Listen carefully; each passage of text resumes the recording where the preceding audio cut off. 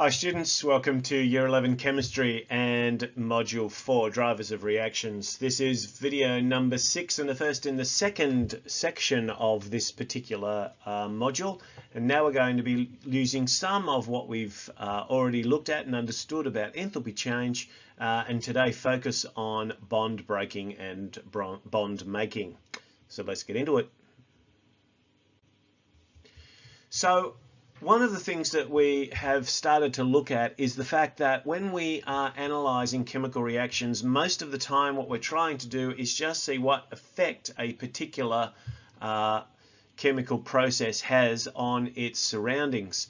And to be able to calculate changes in the energy um, on the basis of uh, recording temperature changes and then look, looking at the relationship with things like specific heat.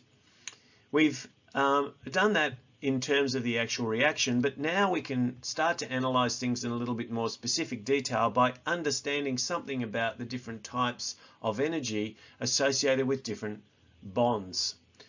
We're going to focus this section a little bit just on covalent bonds. There are more complex things that we can add in, but for the moment, let's just see if we can focus on one section, get a bit of an idea or understanding of how that works, and then you can apply that into other uh, types of chemical situations. So the first thing we need to be uh, aware of is that different elements have different bond strengths, uh, both between their own atoms and when they form bonds with other atoms. And you can see a table here on the right where we've got bonds between single bonds between carbon and hydrogen, between carbon and carbon, carbon and oxygen, oxygen, hydrogen, hydrogen and hydrogen, and oxygen and oxygen, and also a couple of double bonds between carbon and oxygen and oxygen and oxygen. We can therefore rank uh, different types of bonds on the basis of their strength. We can also use these to determine whether there is a net gain or loss in energy when new substances are formed. When new substances are formed, we need to break a chemical bond, and then we need to make new bonds and in the process of each of these uh, bond breaking and bond making, um, an energy is either going in or becoming available as a result of each of those processes. So it's probably worth just walking through one example to give you a bit of an idea. Consider what happens when we um, carry out an electrolytic decomposition of water. So we know that if we pass an electric current through water, um, particularly water with some hydrogen ions in it, then what we find is that the water will break down through both an oxidation and reduction uh, reactions or half reactions into hydrogen gas and oxygen gas. The ratio of these is a 2 to 1 ratio. But what we want to do now is we want to see if we can go a little bit deeper into what's really going on in this process. So the first thing we need to do is we need to look at the reactant. The reactant is water. To balance the equation, I needed two water molecules. That's two things that look like this.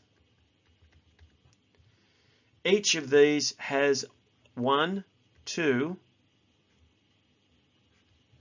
hydrogen-oxygen bonds. So if I have two of them, I have four oxygen-hydrogen bonds. So I actually have four of these.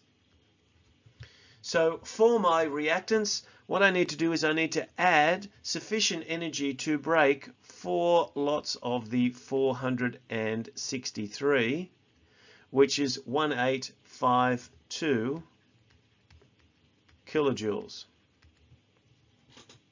Now, when I form the products, that stored energy is in there. And so then I've got an energy, an amount of energy that's been released as a consequence of the formation of these bonds. Our products are going to be two hydrogen hydrogen. So because we've got two hydrogens, each of these is an HH, and I've got two of those and I've got one oxygen double bond to another oxygen. So I need to take all of those into account. When I do this, I have two lots of the hydrogen-hydrogen, which is this one, and I also have one of the oxygen, double bond oxygen. So I have two lots of 436 and I add in uh, 498 and that gives me a total of 1370 kilojoules.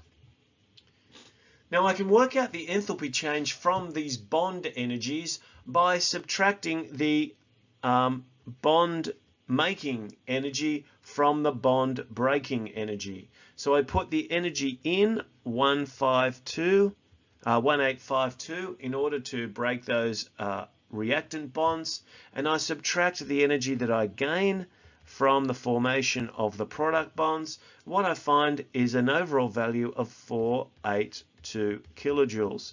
You'll also notice that this is a positive value and a positive value is an indicator of an endothermic reaction and that's really good because I know this requires an input of energy in the form of electricity for this reaction to occur. So we can use this process of bond energies and bond breaking and bond making as an alternative way to help us calculate the enthalpy change that occurs in chemical reactions.